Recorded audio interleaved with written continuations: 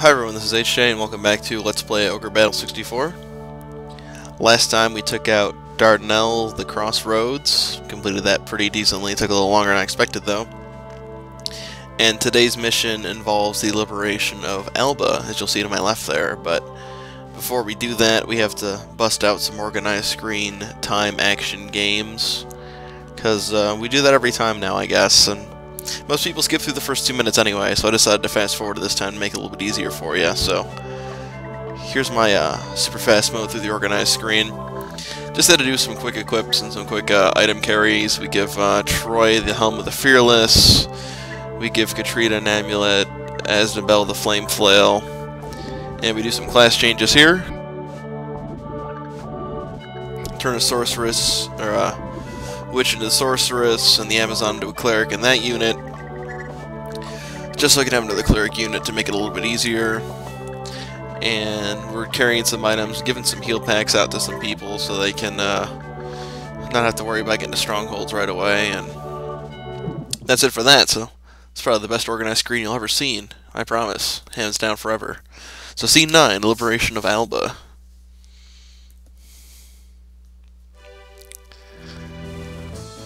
In the meeting room. The Central Division has taken reinforcements to Dardanelle as a mutiny by the Southern Division. Wasn't the Southern Division General following the Central Division orders? We have no idea why General Goddess decided to involve those monsters, but it's certain the Central Region is worried about Lotus. Fluent Platinus was employing monsters that make of this kingdom. Uh, uh, I recorded this post, so I might not be able to get through all the commentary. Or all the text, I should say. Troops have been dispatched to control the chaos created by the monsters, most of them including Destin, was sent to the region, run around against the Southern Division. Okay. So we need to hold off against the Southern and Alba here. We need to take care of it.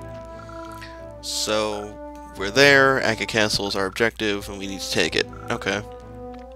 So one possible route, north, and there's a sizable force. We'll lose in battle numbers, so we're for them to come to us, and we'll take them one at a time. So, not really a big, big deal, but still not an easy mission. It's no split paths and people are split. It's one route, deal with it. Even though it's abandoned by the Central Division, the Southern Division is still a force to be reckoned with, so... It's a perfect opportunity for us. We want to meet the expectations of our sympathizers and the Revolutionary Army, so... Without further ado, let's get some Alba started. And this mission as a whole was uh, pretty fun. Actually shorter than uh, I expected it to be. And uh, there's some parts later on where I fast forward through some of the tedious battles, but I decided to keep most of it pretty pure when it comes to uh, the gameplay. I mean, I know it takes a long time. You're looking at an hour, an hour and a half per mission, and for those of you who actually watch all the episodes, I do give you a lot of credit, but a lot of people, from what I've noticed, will have a lot of views on the first part of the mission and a lot of views on the last part of the mission, and then if there's like two or three episodes in between, we'll decide to skip those and just watch the first and the last, which you know, I guess it's probably smart. It'll save them time, but...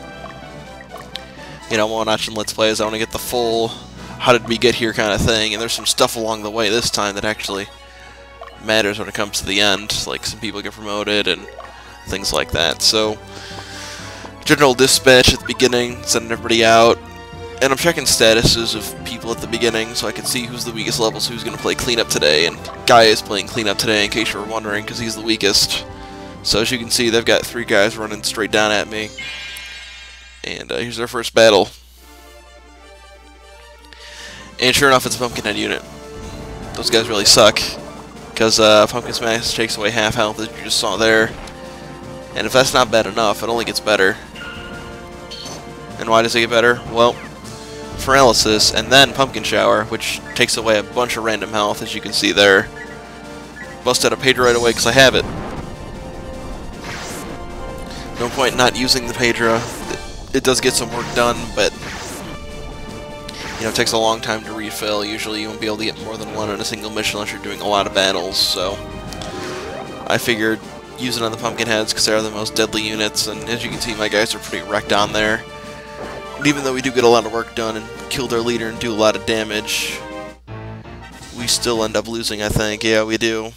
So, completely wrecked on, it sucks, and for the first couple battles, you'll see uh, how exactly I get screwed each battle, and it's you know, unfortunate that it happens this way, but I'm just showing you guys I'm not exactly uh, perfect and my unit isn't exactly great, so Troy's turned to fight the Pumpkinheads, and sure enough, they've uh, switched stuff around, and Pumpkin Smash still does half, and you know, we attempt to get a little work done, but Pumpkin Shower hurts too, and he rails on my midgets, like, look at that.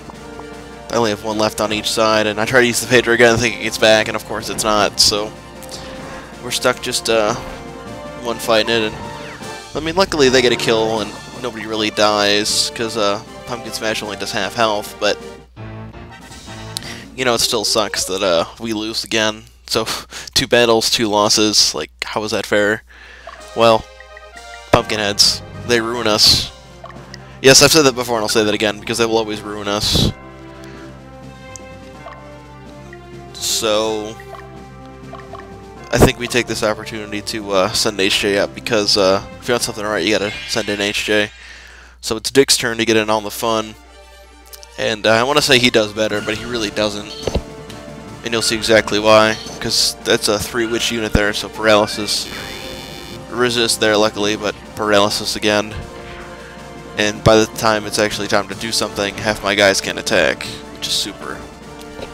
So, kind of sucks for that. And paralysis after they recover, so you get paralysis, you get paralysis. All in all, not a good start to this mission. I mean, we do get some uh, damage in there on their leader, but a win's a win, I guess, but that unit's a, a big pain in the butt. Like, three witches, like, you better have a good front line, otherwise you're not getting anything done. So, continuing on, sitting on their stronghold, Dick comes in, and this unit's a big pain in the butt too, because the fairy's in the back, and they use something called Abyss, and you'll see what I'm talking about in a little bit, that uh, does some damage, and uh, it also has the opportunity to put you asleep, so that really sucks. As you can see, we got Abyss once and then Abyss twice on the archers on the corners, so they can't get any work done. The, I guess the point of Alba is to throw like the worst possible enemies they can at you at the beginning, because that's what they did. And we've lost three out of four. I'm just saying. So, worst possible scenarios there. Luckily, we've got HJ and he hasn't been doing anything yet, and I believe, yeah, we send Leia forward, and, okay, heal seed, whatever. And they take their stronghold back, but we send an HJ, so, very chaotic right at the beginning. Decent stuff. I mean, their units are ripping me apart, but at least we have enough different units to supplant the fact that we're getting ripped apart. I mean, nobody's died yet, which is good. Because I'm really suck if people died right at the beginning, because then I'd be fighting at a disadvantage, but playing the numbers game properly, only fighting one at a time, and planning things out makes it a bit easier, so... Abyss still sucks, by the way. I think my sorcerers need to start working together to do some more team fireballs, but I don't think they're uh, capable of doing that too well. I mean, the sorceresses on my team start to pick up later on in the uh, mission, but at the beginning it seems like the uh, derp, and we draw for some reason. I can't figure that out, but it means we both lose, so... We uh, heal up at the heal leaf, so we can get right back in there. I keep picking on the weak sorceress, and I can't figure out why. Probably she's the weakest, so... Send HJ back in, and everybody's healing up on the stronghold, as they should be, because I got pretty railed on by the pumpkin heads. I mean, nothing you can do. You just have to deal with it, I guess. And this guy's got the best unit ever, because it's just him and, like, three groups of midgets. So, like, you want to talk about pushover? That's what this is. This guy's just to get wrecked on.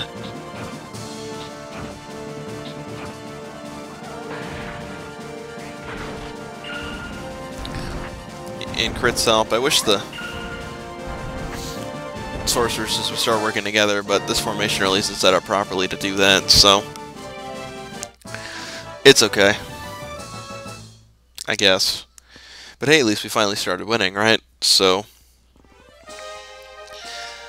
I'm pretty much uh, done commentating in the beginning here because everything else is just straightforward, so If you guys are, are big HJ followers, you've been paying attention to the YouTube channel, I have been releasing a lot of content recently. I'm like discount content warehouse over here. I've been doing Portal videos, there's been Streets of Rage coming up. Um, I've got some Pokemon done. I even put up like a real life video, like that was pretty cool. And uh, more Portal 2 is coming, if that's what you're here for. Uh, girlfriend's been busy, I've been busy, so we haven't had time to do that. And Troy's dead, obviously, so what we're doing is we're gonna retreat him and fill up his soldiers and bring him back out. So you'll see how I'm doing that right here. But yeah, a whole lot of content. I think I released like eight videos this week, which is a lot more than I'm definitely used to. I kind of got burned out when I did that. I mean, I had two days off, so I put out a bunch of content. But, yeah, there's definitely still more coming. I mean, I'm working on other things, and hopefully more Pokemon coming up soon. I mean, I don't want to completely give up on Ogre Battle.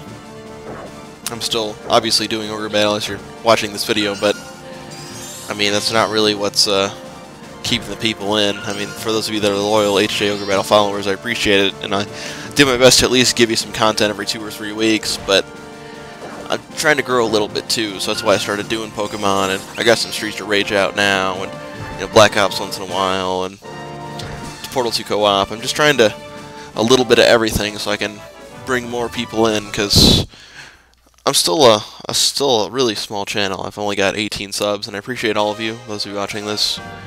Makes me happy, makes me know, hey, at least 18 people give a shit about what I do, but you know, I want that number to be higher. I want that number to be 20, 30, 50, and 100 eventually. I think if I could get 50 subs by the end of the year, I'd be pretty excited. But, you know, it's going to take a lot of work from me. It's going to take a lot of uh, quality work from me as well. So, we could really only hope that enough people figure me out and say, hey, Issue doesn't completely suck. Let's go follow him, right? So, that's what I'm going for. Um, like I said, I'm always open for suggestions and feedback, so if you're new or old to the channel and you want me to do something different, I'm always looking for suggestions. So hey, you know, skip some Ogre Battle when you're doing it. Well, I'm trying to do that now. I mean, I skipped some at the beginning, there's some repetitive battles that I skipped a little bit later. Uh, I've pretty much given up on doing commentaries live while I'm playing the game. I did that for the longest time with Ogre Battle, but when it all comes down to it, nobody wants to sit and watch a repetitive battle back and forth for an hour and a half, and I realize that now, so this commentary is done post, and I skipped some parts to make it a little bit quicker, so if you really care about Ogre Battle on the fly, you're not stuck watching an hour and a half of me trying to mop up all the EXP, so that's good for you guys. Uh, this pretty much wraps up part one of Alba there's going to be three parts, I'm letting you know now, so you'll probably skip the second part if you don't care about it.